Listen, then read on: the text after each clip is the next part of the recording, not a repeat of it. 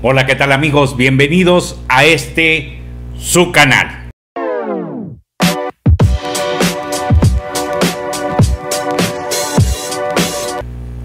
Amigos, Santiago Nieto sí está llevando a cabo una investigación contra Ricky Riquín Canallín. Este personaje cree que la justicia mexicana está dormida, pero le estamos demostrando que la justicia mexicana hoy está en manos de personas verdaderamente responsables y no se va a librar. Recordemos, amigos, que Ricardo Anaya es uno de los casi 70 nombres que surgieron en la denuncia que hace eh, Emilio Lozoya ante la Fiscalía General de la República. La unidad de investigación financiera naturalmente retoma esto y se pone a hacer una investigación exhaustiva de todo lo que venía sucediendo. Hoy nos confirma Santiago Nieto que sí se está investigando a Ricardo Anaya por el caso de Odebrecht. ¿Por qué por el caso de Odebrecht, amigos? Algunos de ustedes se preguntarán. Porque con los recursos de Odebrecht se, pagaron los sobornos para que quienes eran eh, en aquel entonces diputados pudieran dar su anuencia a la reforma energética y a todas las reformas eh, estructurales emanadas del PRI a través de Enrique Peña Nieto, que ninguna resultó ser favorable para el pueblo de México ni para el propio país.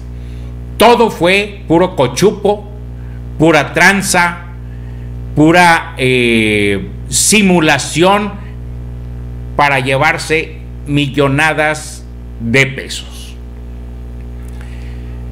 ¿Qué nos dice Santiago Nieto? Y esto surge precisamente porque inesperadamente, yo diría, oportunamente, porque es un oportunista, llega a México eh, Ricardo Anaya, jurando y perjurando que él trae la solución a todos los problemas de México. Pues inmediatamente los medios de comunicación chayoteros y los medios de comunicación neoliberales retoman cualquier palabra que salga de él, sobre todo denostando a Andrés Manuel López Obrador, y eh, la hacen pública, inclusive la inflan. ¿Por qué? Porque algunos de ellos sí lo consideran a él como un Mesías, como aquel que viene a salvar del desastre al pueblo de México.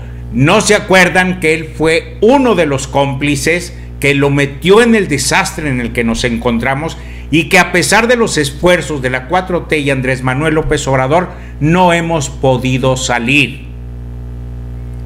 Él fue uno de los que se benefició con la venta de Pemex. Él fue uno de los que se benefició con la venta de la riqueza de México a manos privadas.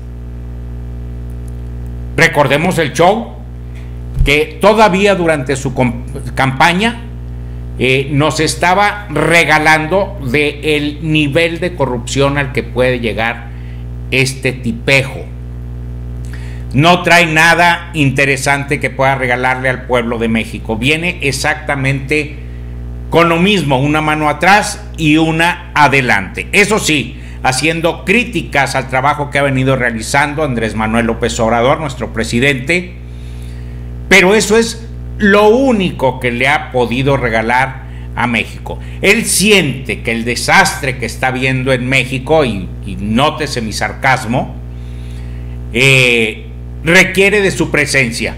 La verdad es que nadie lo requiere.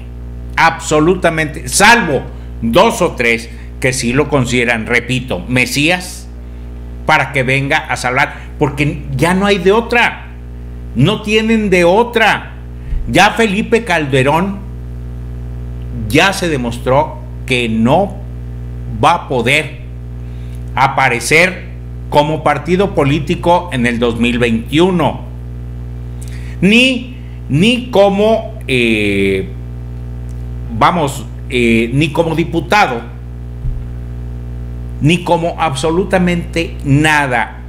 Tiene eh, una imposibilidad prácticamente absoluta de aparecer en boletas en el 2021, que es lo que estaba queriendo hacer. A él le urge tener eh, fuero, le urge tener una posición que le permita sacar las millonadas y millonadas de dólares que tiene por ahí guardados para que eh, no se vaya o no se haga sospechoso. Pues bien, ¿qué es lo que nos dice Santiago Nieto, amigos? Nos dice lo siguiente. Santiago Nieto confirmó en una breve entrevista que sí se está investigando al panista Ricardo Anaya, quien fuera ex candidato a la presidencia de la República.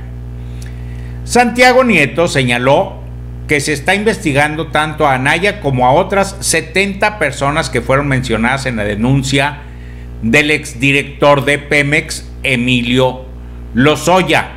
Además, indicó que será la Fiscalía General de la República la que determinará si lo llama a comparecer. Pues ya sabemos que regresa Anaya. Eh, esto sucede luego de perder la elección presidencial del 2018, de haberse perdido durante prácticamente dos años. Eh, sin, dice él, dice él que eh, dando clases. Pero independientemente de lo que haya hecho, no se va a borrar de la mente del mexicano todo lo que sabemos de Ricky Riquín Canallín. Por eso, eh, cuando se hizo eh, dentro de la campaña, hasta Andrés Manuel López Obrador desconfiaba de lo que pudiera hacer eh, Ricardo Anaya, porque ha demostrado que ser un corruptazo de aquellos. Luego dice, eh, anunció su regreso a la política mexicana con el propósito de ayudar, de ayudar a construir un mejor futuro para México. Y dice, Frente a los enormes problemas que se están acumulando y ante la falta de soluciones, creo que lo correcto es estar presente. ¿Para qué? No sirve para nada, indicó este panista.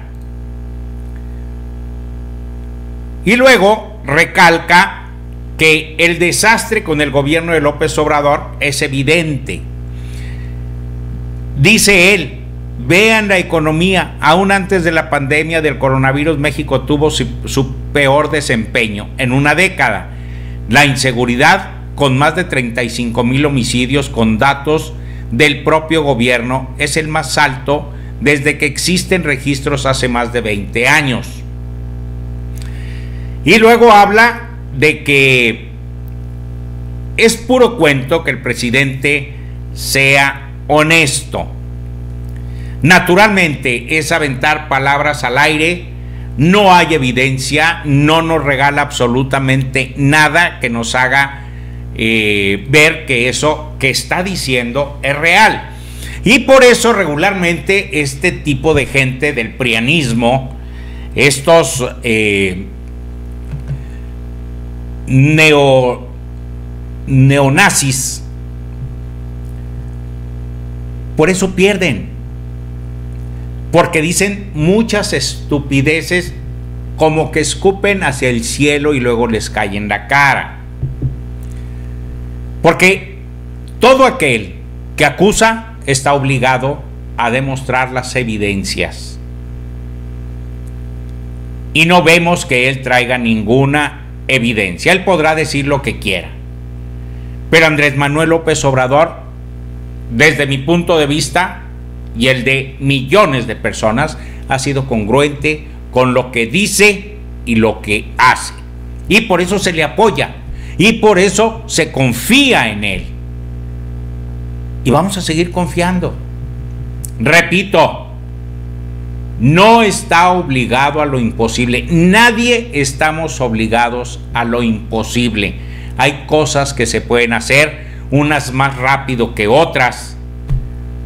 Pero hay otras que tendrá que pasar mucho tiempo y tendrán que cambiar las condiciones existentes en el país para que se vayan viendo cambios importantes. Mientras tengamos eh, este descerebrado grupo que, que está contra Andrés Manuel López Obrador, no vamos a poder eh, en muchos casos avanzar y en otros poder lograr las metas a tiempo. Pero se van a lograr. Muchas de ellas ya se están logrando en tiempo y forma.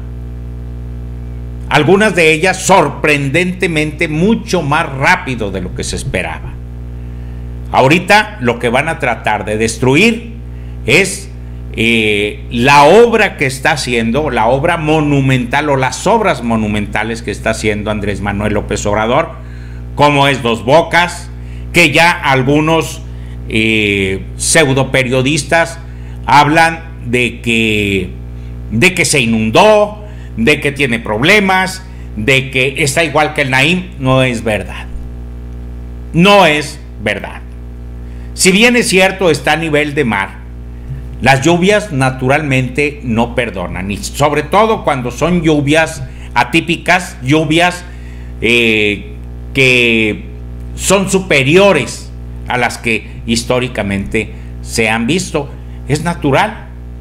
Y va a ser ahí, y va a ser en el DF, y va a ser en Nuevo León, y va a ser donde quiera. Cuando las lluvias son atípicas, dejan encharcamientos, pero no necesariamente inundación, como lo decían por ahí equivocadamente. Qué bueno que Andrés Manuel ya lo aclaró. Qué bueno que eh, nos dimos cuenta de que están tratando de eh, exagerar la nota para poner en evidencia el que se haya tomado la determinación de que Dos Bocas, esa refinería, haya quedado en el lugar donde se eligió. Está también el Tren Maya, está también el aeropuerto Felipe Ángeles, está también el cruce interoceánico, está, hay muchísimas obras que están ahorita trabajando y no podemos olvidar también que eh, los programas de apoyo de Andrés Manuel López Obrador están generando economía desde abajo, están evitando que la crisis eh, se profundice, pero es necesario hacer un mayor esfuerzo. Andrés Manuel sabe que cuenta con nosotros. Andrés Manuel sabe que si tenemos que sacar adelante los adeudos, o los compromisos que tiene Pemex, eh, México podemos echarle la mano, de alguna manera como lo hicimos con la rifa del avión, en beneficio del sector salud de México, en nuestro propio beneficio. Por eso es importante que no cejemos, que no dejemos de estar apoyando eh, de una u otra manera Andrés Manuel López Obrador. Ah, otra de las andeses, otra de las estupideces que viene a decir eh, Ricardo Anaya es el siguiente. El desastre con el gobierno de López Obrador es evidente. Ah, bueno, sí. Luego dice, dice, a pesar que Ricardo Anaya esté envuelto en escándalos de corrupción, se lanzó también contra el mandatario tabasqueño diciendo que no es honesto. En el video que él presentó a su regreso, dijo que la corrupción se tolera en el círculo cercano del propio mandatario.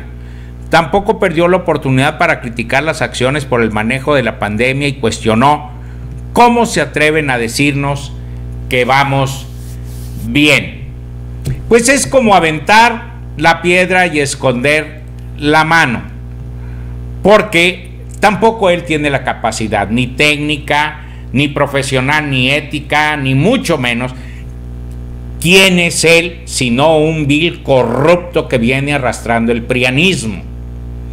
Sino un muerto político que sacaron del panteón para venir a presentarlo nuevamente, para representar los intereses neoliberales, los intereses más eh, rancios, obscuros y nefastos de México. Pues ahora lo reviven y quieren que venga a hacer un papel titánico, porque tendrá que hacerlo si quiere ir en contra de la 4T, de Morena en este momento, y buscar la grande. No va a ser tan fácil. Sin embargo, como dice Andrés Manuel, se vale. Lo que no se vale es que quiera venir a engañarnos. Es que quiera venir a decirnos que Andrés Manuel no está haciendo bien el trabajo para enfrentar. Y no es Andrés Manuel, es el equipo técnico del sector salud mexicano quien está haciendo frente a la pandemia. Todavía ahorita hay países donde están tratando de investigar cómo afecta el virus de una u otra manera. En el caso de México nosotros ya logramos que la curva sea eh, descendente, es decir, y en muchos de los casos, en varios estados, ya tenemos hasta 5, 7 semanas en que la curva no solo no crece, sino que va hacia abajo. Jamás teníamos, habíamos tenido un gobierno que se preocupara por los que menos tienen, que se preocupara por un sector salud, por un sector educación, por poner orden y aplicar la ley a aquellos que se sentían dueños del país. Pagando impuestos, por supuesto, y cumpliendo con los requerimientos eh, que tiene el SAT y cumpliendo con toda la normatividad del país, porque muchas empresas, tanto extranjeras como nacionales, se lo pasaban por el arco del triunfo. ¿Por qué? Porque el florero que había en la silla presidencial se los permitió durante muchísimo tiempo. Y era un florero no solo por ser florero, sino porque con eso también ganaba dinero y poder. Amigos, muchísimas gracias por estar conmigo, gracias por apoyarme, suscríbase a mi canal, eh, vamos a crecer, vamos a llegar más allá, ayúdenme a hacerlo. Y a los que ya lo hicieron, muchísimas gracias. Y nos vemos en el próximo video.